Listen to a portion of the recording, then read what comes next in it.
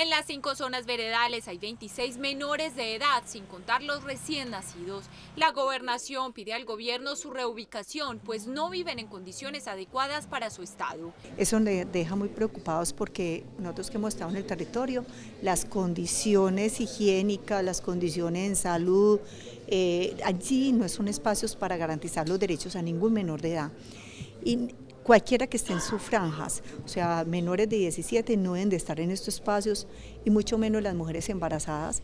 Se indicó que el primero, 2 y 3 de marzo, la Comisión Tripartita, una dependencia de la Gobernación de Antioquia y la Defensoría del Pueblo visitarán de nuevo las cinco zonas veredales para garantizar las condiciones dignas de vida de estas personas, en especial mujeres embarazadas, bebés y discapacitados. En muchos espacios no hay agua, no hay luz, eh, no hay ni siquiera un sitio aceptable que reúna las condiciones higiénico-sanitarias.